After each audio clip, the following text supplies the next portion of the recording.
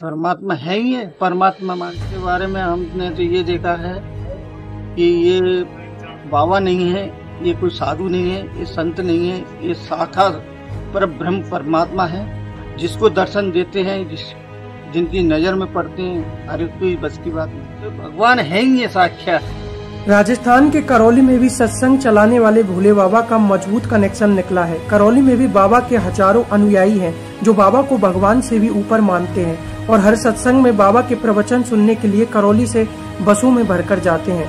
करौली में बाबा के भक्तों ने कई ऐसे दावे किए हैं जिन्हें सुन आपके होश तक उड़ सकते हैं।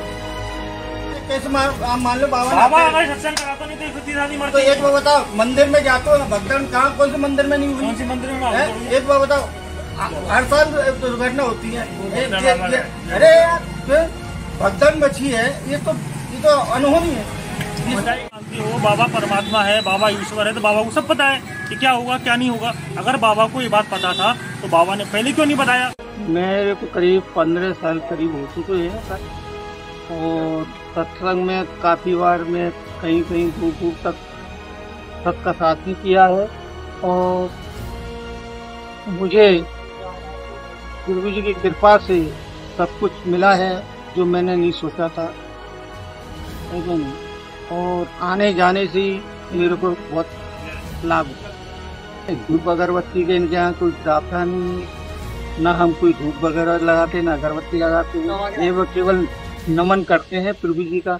नारायण साकार हरि की संपूर्ण ब्रह्मांड में सदा सदा की जय जयकार।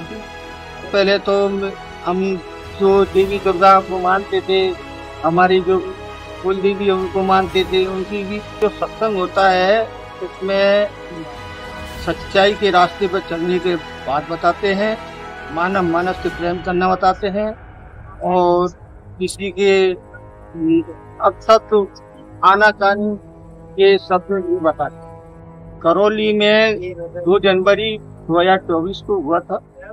उसमें लाखों की तादाद में संख्या ऑल इंडिया से महापुरुष आए थे, और जो सेवा कर्म यहाँ अपन की हिंडौन कमेटी और करौली कमेटी के द्वारा सत सबका साथ हुआ था।